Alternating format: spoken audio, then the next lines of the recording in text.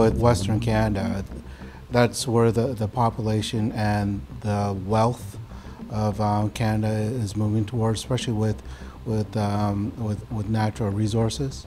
And when you look at Vancouver, especially with the, the commercial and you have, you have mountains to the north, you have oceans, you have the Pacific Ocean, and there's only so much de uh, developable land.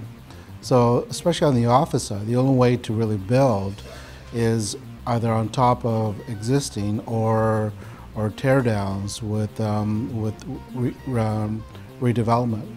So the only way uh, for direction for commercial real estate is is is, uh, is to move east, which moves away from the from the population, which is a bit of a challenge.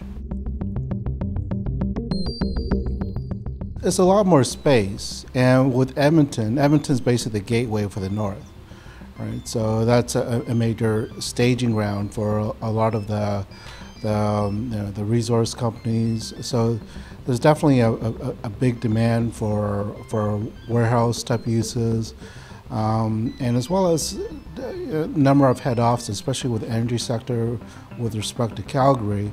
And that's why Calgary has done so well over the last 20 years. The growth and the expansion, and has really matured as, as one of the top cities in, in Canada. For Edmonton, the, the, the, big demand will be for light manufacturing, assembly, and as well as um, warehouse. And I, I, think a lot of that manufacturing will, will, still be, well, the positive impact will be Ontario, um, where the bulk of Canadian manufacturing is located. So Ontario has benefited in the past of the expansion of uh, resources in northern Alberta.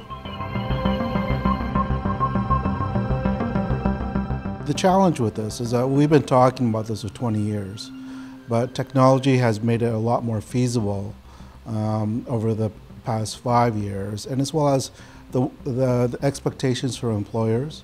Um, there, there's, I think there's a certain element of trust issue with people working remotely, but there's better accountabilities, better models now that you can a lot easier um, uh, monitor and track productivity, and as well as to give people a little bit more flexibility because I think people are working longer hours, uh, they have a lot more demands, and to create a little bit more flexible workspace really helps, especially if, if they can work from, from uh, home for one or two days a week and, uh, and then head into the office to you know, re-engage with their with their, their, their, their colleagues and their managers to make sure that they're still part of the company.